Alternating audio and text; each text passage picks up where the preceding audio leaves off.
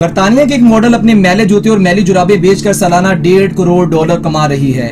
वो इंस्टाग्राम पर अपनी तस्वीरें पोस्ट किया करती थी और लोग इसके पाँव की तारीफ़ किया करते थे कि वो बहुत ही ज़्यादा खूबसूरत हैं। तो उसने सोचा कि वो अपने पाँव से वाबस्ता चीज़ें क्यों ना ऑनलाइन बेचे। जिसके बाद इसने बहुत ही सस्ती जुराबे खरीद कर उन्हें पहनकर बेचना शुरू किया।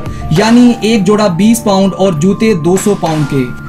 इसके अलावा वो इतनी मशहूर हो चुकी है कि वो अपने एक अंगूठे के हिलाने की एक वीडियो से 100 डॉलर्स तक कमा लेती है।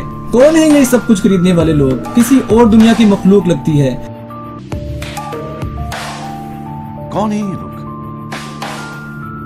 कहाँ से आते हैं और एक हम है कि अगर हम अपनी जुराबें उतार के फेंक दें तो वो आँसू गैस से कम जहरीली नहीं होती।